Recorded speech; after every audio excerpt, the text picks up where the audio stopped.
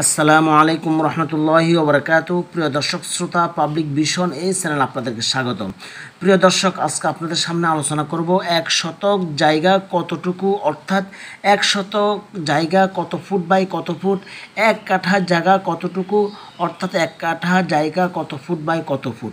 সেই বিষয়ে আপনাদের সামনে ধারাবাহিক আলোচনা করব। আশা করি শুরু থেকে শেষ পর্যন্ত দেখবেন, ইনশাআল্লাহ উপকৃত হবেন। তো প্রিয় দর্শক যারা আমাদের চ্যানেল নতুন আছেন এবং আমাদের ধারাবাহিক ভিডিওগুলো আপনাদের ভালো লেগে থাকে, অবশ্যই চ্যানেলটিকে সাবস্ক্রাইব করে আপনাদের সঙ্গে আমাকে রাখবেন। আর যদি ভিডিওগুলো ভালো না লেগে থাকে, দেখতে থাকেন, দেখতে দেখতে ভালো লাগা, ভালোবাসা তৈরি হয়ে যাবে ইনশাআল্লাহ। তো প্রিয় দর্শক, আমরা প্রথমে জানতে হবে এক শতক জায়গা কতটুকু? যদি আমরা স্কোয়ার হিসাবে ধরি, তাহলে চারশো পঁয়ত্রিশ দশমিক ষাট স্কোয়ার ফিট হচ্ছে এক শতক অর্থাৎ দৈর্ঘ্য আর প্রস্থ মিলে যদি চারশো পঁয়ত্রিশ দশমিক ষাট হয়, তাহলে এখানে এক শতক জায়গা। আর যদি আমরা কাঠা হিসাবে নিই, তাহলে সাতশো বিশ বর্গফুটে এক কাঠা স্কোয়ার হিসাবে, সরকারি মাপ হিসাবে এটা এক কাঠা। প্রিয় দর্শক, এটা হচ্ছে যদি স্কোয়ার হিসাবে তুলনা করি, তাহলে এই হিসাব। এখন আপনাদেরকে আমি বলব কত ফুট বাই কত ফুটে চারশো পঁয়ত্রিশ দশমিক ষাট হবে, আর কত ফুট বাই কত ফুটে সাতশো বিশ বর্গফুট হবে। এই হিসাবটা যদি আপনারা জানেন, তাহলে যে কোনো জমিনের হিসাব বের করতে একেবারে আপনাদের জন্য সহজ হবে। প্রিয় দর্শক, শ্রোতা, জমিন দুই ধরনের হতে পারে। হয়তো পুরা জমিনটা চারোটা বাহু সমান সমান হবে, অথবা দুটা বাহু বড় হবে আর দুটা বাহু ছোট হবে। এই শতক বলেন আর কাঠা বলেন, হয়তো চারটা বাহু সমান হবে অথবা দুটা বাহু বড় হবে আর দুটা বাহু ছোট হবে। এই দুই ধরনের জমি হতে পারে। এখন আপনাদেরকে আমি বলব, চারটা বাহু সমান হয়, তাহলে কত ফুট বাই কত ফুটে এক শতক হবে? আর যদি বেশ কম হয়, তাহলে কত ফুট বাই কত ফুটে এক শতক হবে? সেই বিষয়ে আপনাদেরকে আমি বলছি। প্রিয় দর্শক, প্রথমে আমরা আমরা আমাদেরকে জানতে হবে এক শতক জায়গা কতটুকু? সেটা আমরা বলছি যে চারশো পঁয়ত্রিশ দশমিক ষাট। তো প্রিয় দর্শক, যদি আমরা ক্যালকুলেটার চারশো পঁয়ত্রিশ দশমিক ষাট এটা উঠাই, উঠানোর পরে দেখবেন এখানে এই এই আমার হাতের নিচে দেখবেন এরকম একটা চিহ্ন আছে, এটাকে রোটোবার বলা হয়। যদি এটাকে চাপ দেন, তাহলে এখানে লেখা আছে বিশ দশমিক সাতাশি ফুট। অর্থাৎ এখানে বিশ দশমিক সাতাশি হবে। সাত, দশমিক সাতাশি বলতে বিশ ফুট দশ ইঞ্চি প্রায়। আর এদিকেও বিশ দশমিক সাতাশি, অর্থাৎ বিশ ফুট দশ ইঞ্চি। প্রিয় দর্শক, দশমিকের পরে দশমিকের পরে যে বিষয়গুলো ফুট আসে সেটা যদি ইঞ্চির সাথে তারতম্য করে, তাহলে পিছনে আমাদের একটা ভিডিও গেছে। আশা করি ওখান থেকে যদি ভালো করে দেখেন, বুঝতে পারবেন।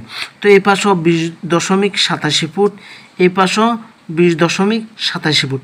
অর্থাৎ এখানে বোঝাতে চাইতেছে, যদি আপনি এক শতক জায়গাকে স্কোয়ার হিসাবে পরিমাপ করেন, করার পরে এটাকে যদি রোটোবা ছাপ দেন, তাহলে প্রত্যেকটা বাহু আলাদা আলাদা বের হয়ে যাবে।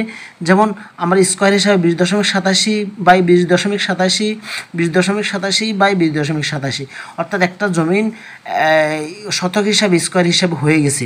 এভাবে যদি আমরা একটা জমিকে যদি কাঠাই নিই একই পদ্ধতিতে যদি স্কোয়ার হিসাবে যদি কাঠাই নিই, তাহলে একই পদ্ধতি, দেখেন, যদি সাতশো বিশ বর্গফুট এই সাতশো বিশ বর্গফুট আমরা ক্যালকুলেটর উঠাইছি। উঠাইছি ফোটানোর পরে এই রোটোবার যেটা, এটাকে যদি চাপ দিই, তাহলে এখানে চলে আসে ছাব্বিশ দশমিক তিরাশি। প্রিয় দর্শক, এখানে ছাব্বিশ দশমিক তিরাশি ফুট, ছাব্বিশ দশমিক তিরাশি ফুট, ছাব্বিশ দশমিক তিরাশি ফুট। অর্থাৎ কাঠা হিসাবে এটা হচ্ছে শতক আর এটা হচ্ছে কাঠা। তাহলে শতক, এক শতক জায়গা স্কোয়ার হিসাবে কতটুকু? আর এক কাঠা জায়গা স্কোয়ার হিসাবে কতটুকু? এটা কাছে স্কোয়ার হিসাবে তুলনা। এখন যদি যদি ছোট বড় হয়, অর্থাৎ এই বাহু বড় আর এই বাহু ছোট, এমন হয়, তাহলে পদ্ধতি ভিন্ন রকম।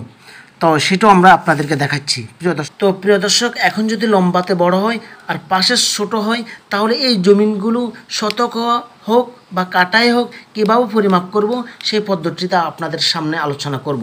প্রিয় দর্শক, যদি আপনি দৈর্ঘ্য লম্বা হয় আর প্রস্থ ছোট হয় এক শতক যদি জায়গা যদি বের করতে চান, শতক হোক আর কাটা হোক, তাহলে যে কোনো একটা পার্ট অবশ্য আপনাকে জানতে হবে।